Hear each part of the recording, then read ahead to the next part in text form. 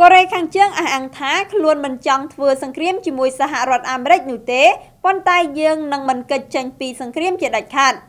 កូរ៉េខាងជើងបានទាត់ចោលការថ្កោលទោសលើកម្មវិធីនុយក្លេអ៊ែរនិងមីស៊ីលរបស់ខ្លួនពីសំណាក់សហរដ្ឋអាមេរិកដោយថែមទាំងប្រមានចំចំថានឹងមិនកិច្ចចេញពីសង្គ្រាមជាមួយទីក្រុងវ៉ាស៊ីនតោនឡើយបើទោះជាទីក្រុងព្យុងយ៉ាងមិនចង់ឲ្យសង្គ្រាមកើតឡើងក៏ដោយនេះបើតាម KCNA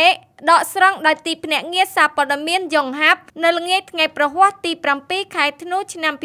2017ស្ថានីយទូរទស្សន៍រដ្ឋកូរ៉េខាងជើង KCNA ផ្អែកលើអ្នកនាំពាក្យក្រសួងការបរទេសកូរ៉េខាងជើង បានលើកឡើងយ៉ាងដូចនេះថាយើងមិនដែលប្រាថ្នាចង់ធ្វើសង្គ្រាមនោះទេប៉ុន្តែយើងនឹងមិនកិច្ចចេញពីសង្គ្រាមជាដាច់ខាត ហើយបើសិនជាសហរដ្ឋអាមេរិកគិតខុសពីការអត់ធ្មត់របស់យើងឬក៏ចង់ផ្សងព្រេងប្រកាសសង្គ្រាមនុយក្លេអ៊ែរជាមួយនឹងពួកយើងយើង នោះយើងមានតែស្វាគមន៍ក៏ដូចជាផ្ដល់មេរៀនដ៏ជូរចត់ដល់សហរដ្ឋអាមេរិកដោយអាវុធនុយក្លេអ៊ែរដ៏មានឥទ្ធិពលរបស់យើងគូបញ្ជាក់ថាការប្រមានបែបនេះរបស់កូរ៉េខាងជើងកើតមានឡើងនៅចំពេលសហរដ្ឋអាមេរិកនិងកូរ៉េខាងត្បូងកំពុងដឹកនាំសមយុទ្ធយោធាអាកាសទ្រង់ទ្រាយធំនៅលើឧបទ្វីបកូរ៉េជាមួយការចូលរួមពីយន្តហោះចម្បាំងជាង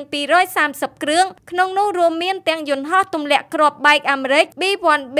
និងយន្តហោះចម្បាំងបបាំងកាយ F22 Raptor ប៉ុន្តែនេះមិនមែនជាលើកទី1ឡើយដែលកូរ៉េខាងជើងប្រមានសហរដ្ឋអាមេរិកដែលគ្រាន់តែការប្រមាននេះខុសប្លែកកាលពីលើកមុនត្រង់កូរ៉េខាងជើងទើបតែប្រកាសខ្លួនឯងជានុយក្លេអ៊ែរក្រោយបាញ់សាកល្បងមីស៊ីលឆ្លងទ្វីបដោយជោគជ័យកាលពីចុងខែវិច្ឆិកាកន្លងទៅ